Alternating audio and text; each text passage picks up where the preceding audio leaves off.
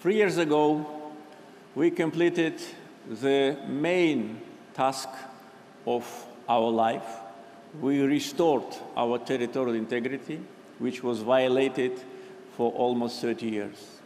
We suffered aggression, occupation, ethnic cleansing, uh, which was a big tragedy for our nation and a big humanitarian catastrophe.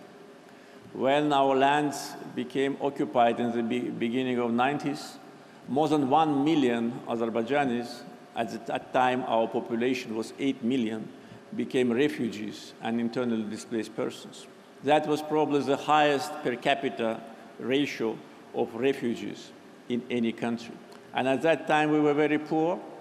We did not yet started to develop our um, natural resources. We were landlocked, disorganized, and um, the prospects for the future were not very clear. But our people demonstrated strong political will. We tried for many years to find a peaceful solution to the conflict uh, and to put an end to occupation by peaceful means. For 28 years, we were strongly committed to negotiation process, but unfortunately, we clearly realized that by peaceful means it is not possible to do. So we used our right for self-defense. We used the right which is given to every country by UN Charter, right for self-defense, and liberated our territories three years ago and put an end to occupation.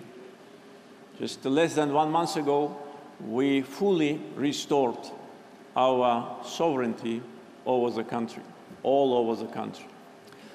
Unfortunately, international organizations which were uh, obliged to uh, put an end to occupation did not produce any result. United Nations Security Council adopted three resolutions demanding immediate and unconditional withdrawal of Armenian forces from our territories, but these resolutions were not implemented for 27 years. We implemented those resolutions ourselves, sacrificing the lives of our people. Other international institutions like OSCE had a mandate for negotiation facilitation but it produced zero result and led to total uh, frustration and disappointment in Azerbaijani society. So our experience of restoration of territorial integrity and sovereignty in certain way is unique. We put an end to a conflict which was imposed on us. We uh, protected uh, our dignity. We restored justice and international law, and now it's time for peace in the Caucasus. This is our agenda.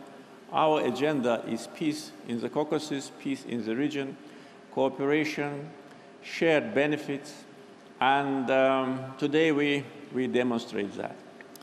Of course, uh, in order to become really independent,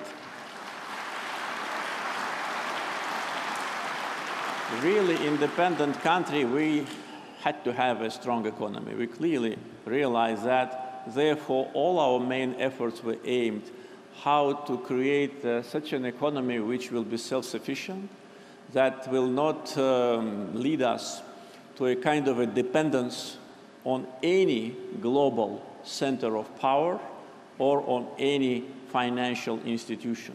And we managed to do it.